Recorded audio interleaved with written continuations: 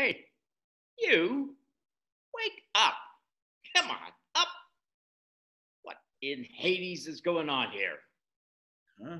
What? Apologies. I must have fallen asleep. No shit. really? Do that again, soldier, and you'll be our next customer. Sir. Sleeping at your post. It's punishable by death. But then, most things are these days. It won't happen again, sir. For your sake, I hope not. How long you been here, son? Uh, since early this morning? What's your name? Uh, Cato, sir. My name is Cato. Well, Cato, I'm Marcus. You'll be working with me today, so be prepared to work hard. Yes, sir. Uh, excuse me for asking this, but what is it that we do here exactly? Hey, God, you are green, aren't you? I dispense justice Roman style. Don't you know where you are? This is Crucifixion Hill. Oh, so this is it?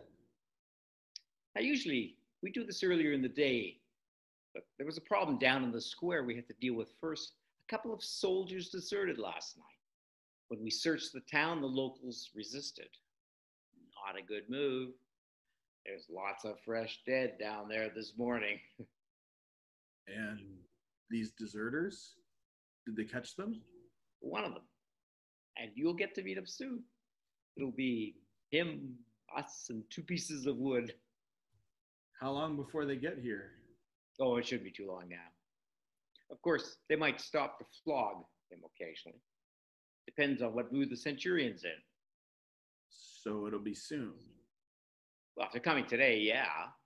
Seven inch nails, standard issue.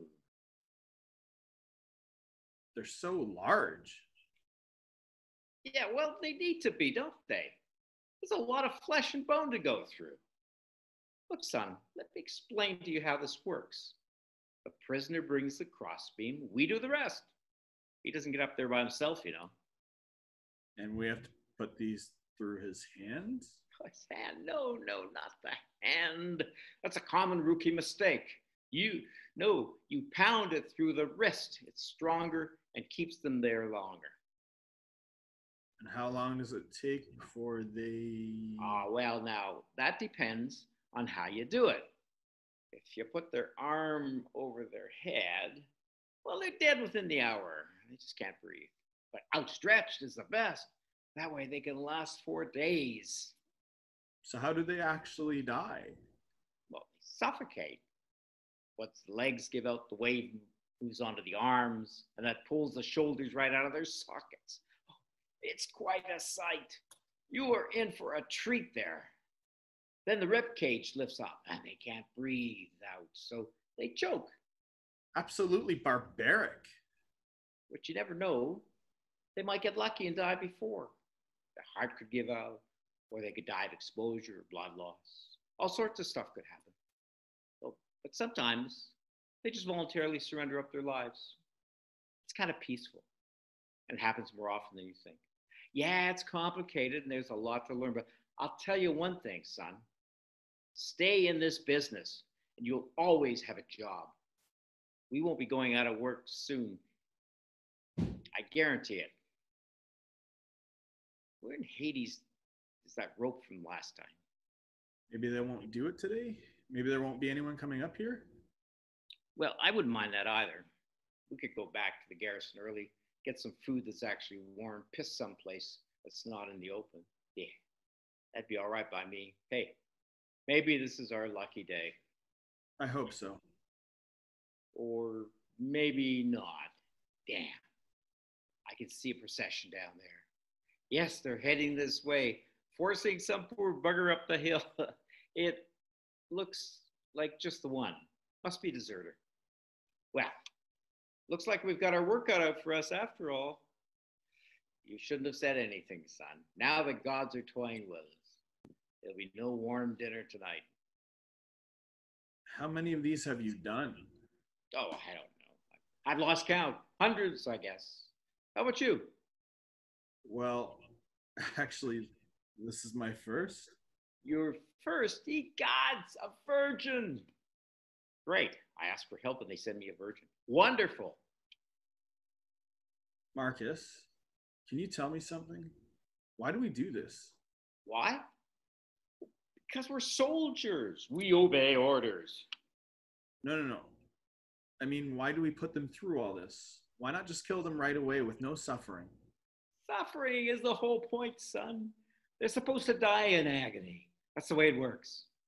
But why? Well, because of whatever it is they did against the emperor. We don't want them to just die nice and easy. No, no, we want them to die slow and painful and in public. That way, it's a lesson for everyone else. Don't do whatever it was that that poor bugger just did, or you'll die like that too. Now, if they're too stupid to understand that warning, then they get what they deserve. Why do you ask? Oh, I don't know. Just trying to figure it all out, I guess. This is so brutal. Why'd we invent this in the first place? We didn't. We, we just borrowed it from the Assyrians. Cultural appropriation at its finest. we shouldn't be doing this. What's the matter? Haven't you killed before? Well, yes, but not like this. We're soldiers. That's what we're here for. The only question is when and where. In a time of crisis, you either fight and die like a soldier, or you flee like a coward. How can anyone kill in cold blood? We're executioners. Society needs us. Society needs cold blooded killers? Well, the Emperor does. And I've got news for you, son. We're stuck here until they're dead. We can't go until then. And let me tell you, sometimes it takes them forever to die. What do you do after? What? With the bodies. But Pete's be. Hey, once they've snuffed it, I'm heading back for a hot cuppa. Who cares what happens to them? Don't worry about it. Just show up on time, do your job. Oh, and by the way, you've got to be careful where you stand. Oh man, they can puke and shit all over. I mean, you'd be surprised. Best to check which way the wind's blowing before you find a place. Oh, and you'll know it's nearly over when they get the shivers near the end. They don't last long after that. They're almost here. Good. We can finish off this poor bugger and get back to. Not just some poor bugger. He has a name. It's Tiberius. How do you know what his name is? I know. Because he's my brother. Your brother? Oh, by the gods. You're the one they're looking for. You're the other deserter. Yes. What are you doing here? This is where we crucify deserters. I know. And I need your help, Marcus. Me? Oh no.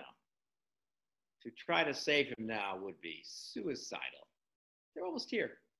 Go on, flee. As far away as you can. Maybe they'll never catch you. And leave my brother to die alone? I can't do that. Well, this is your last chance, Cato. Go while there's still time. Don't worry, I'll talk my way out of it. No, that won't work. I have a better idea. Let me cut you on the arm. What? Nothing severe. It'll heal, but it'll leave a wound and it'll look like you put up a fight to stop me. It'll protect you. Well, yeah, okay. That makes sense. I guess. All right, let's do it. Uh, nothing severe. Nothing severe. Are you ready? Ready. And Marcus, thank you for everything. What the fuck? As you told me yourself, in a time of crisis, you either die like a soldier or flee like a coward. Well, I've made my choice, Marcus. He's my brother. And I'll either free him or I'll join him.